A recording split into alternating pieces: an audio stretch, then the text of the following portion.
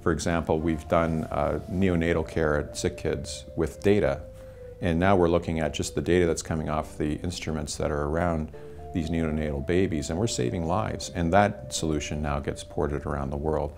Or the Ontario Cancer Institute has been an outreach program from our lab where the researcher spent a lot of time early days with us, with our technology and our researchers, and has now built world-class facility in downtown Toronto.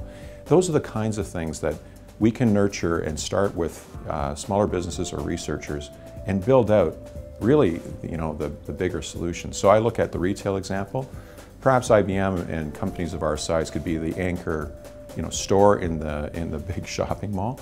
But of course, what you build is that community of folks that have niche solutions that build into the bigger solutions. And that's what we need to do. We have to pick the priority areas. We'll be part of this for sure. We want to uh, make sure that we build out our environment here, especially in Toronto. And then from here, we can, because all the ingredients are there, we can build world-class solutions for the world. And that's a big partnership, both private sector, big and small businesses, but especially public sector, universities. And it really, if we get our act together, we decide that we want to do this, the environment's ours to really take a, a giant leap forward for the future.